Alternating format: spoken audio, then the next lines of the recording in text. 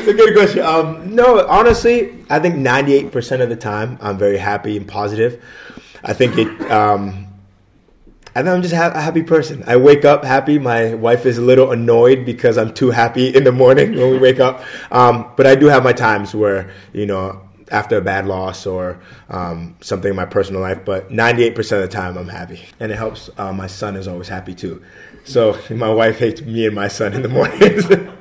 um, you know everything uh, that Murcia have, Murcia has done uh, from the team they put together uh, to the community, um, showing the team so much love, um, the chemistry that we have, and you know my family loves it as well it's the first place I could say where you know me and my family feel completely comfortable as far as basketball and you know off the court. But obviously, off the court being the main thing, Murcia is perfect for us. Yeah, you know, um, we don't look at where Palencia is on the map of uh, standings. Um, we know that ACB, anybody could beat anybody on any given day.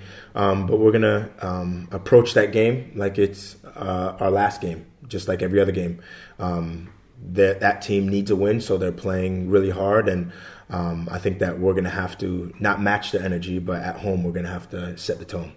No, I don't think we, it's it's difficult for us. Uh, Sito does a great job in making sure we focus just on the next game. Um, you know, we love the congratulations we got for the Final Four, but that's not on our mind now. You know, we'll deal with that when it comes. Um, but right now, we're just taking it game by game. And you know, once you look too far ahead in the future, then you start losing games, and we don't want that to happen we have an agreement that she will allow me to sample her vino tinto.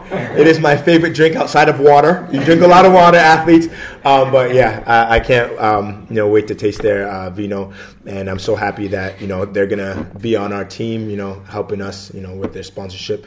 Um, but you know, every every sponsor that comes, you know, I've met them, and everybody seems like great people, and uh, we're happy to have them on our team now.